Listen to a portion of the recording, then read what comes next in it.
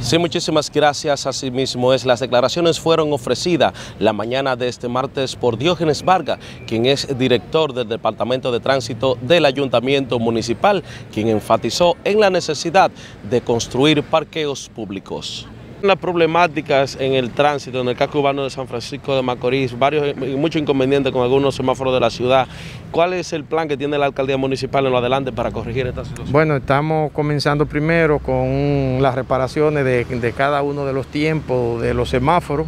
Como ustedes han visto, en la avenida en la calle Salcedo completa, se cambiaron los tiempos y se instaló, reinstaló otra vez el semáforo de la calle Salcedo con Nino Riseco, un periodo de tiempo es, semejante al, de la, al, del Parque Los Mártires con 65 segundos, entonces se está dando esa, la Salcedo como una, una línea de corredor, es decir, una línea de vía rápida. Entonces, ¿qué sucede? Que cuando esos dos semáforos están en serie, en verde, ya los tapones que ustedes han visto en lo que es en el área del, del Parque Los Mártires ya no están, en la, avenida en la calle Salcedo tampoco.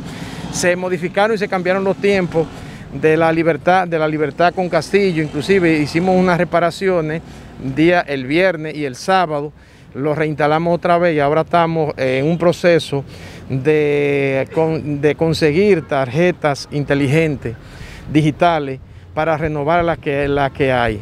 ¿Qué puede esperar la población franco-macorizana en los próximos días de la alcaldía para ver por fin terminado ya este problema del tránsito? Eh, tú sabes que el problema de tránsito es un cúmulo de, de problemas, entre ellos que los mismos dueños de construcciones y comerciantes aquí en San Francisco de Macorís saben muy bien que si los locales comerciales, las edificaciones, no procuran tener lo que, lo que es el parqueo, esa, esa, carga de esos edificios, locales comerciales, apartamentos, edificaciones, eh, que no tienen parqueo, se lo cargan a la ciudad, entonces se entapona más. La se, está violando, la ley de condominio.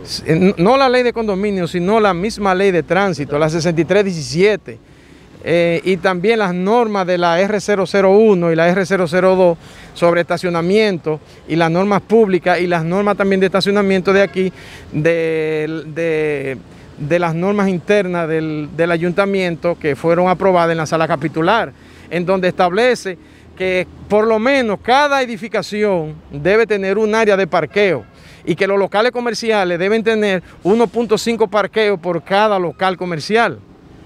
Entonces, tú has visto que hay muchísimos locales comerciales que se están construyendo sin parqueo. Entonces, ¿qué sucede? Que eso se le va a cargar aquí, a la ciudad, al parqueo público. Entonces, lo que estamos haciendo es tratando de resolver esa parte. Como ustedes han visto, un operativo de señalización en toda la ciudad.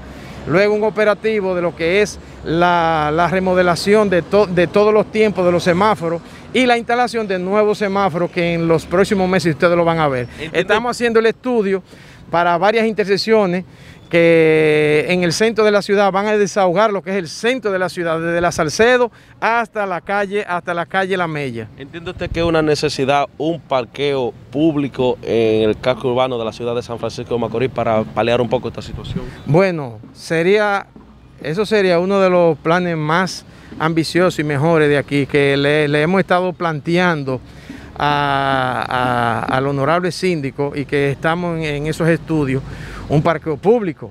Un parqueo público como un, un lote de edificación, ustedes saben muy bien que tiende a limpiar toda la zona de lo, que son los entaponamientos, porque por falta de entaponamiento, por falta de parqueo, los vehículos se, estacionan hasta la misma esquina de, los bloques, impidiendo el libre giro y, el, y, la, y, la, y, la, y la visibilidad por eso se ocurren esos accidentes. ¿Cuál usted entiende que sería el lugar idóneo para hacer esa construcción? Bueno, una, una sería el parqueo de aquí del, del, del ayuntamiento, porque está en pleno centro de la ciudad y en, y en el otro donde se piensa hacer el mercado, sería bueno también que se hagan de dos o tres lotes de edificaciones dentro, del, de lo que es el casco urbano para paliar la situación, para que un solo lote de edificaciones no se vea, no vean las personas también eh, tener que eh, eh, viajar distancias largas para llegar a ese lote de edificación,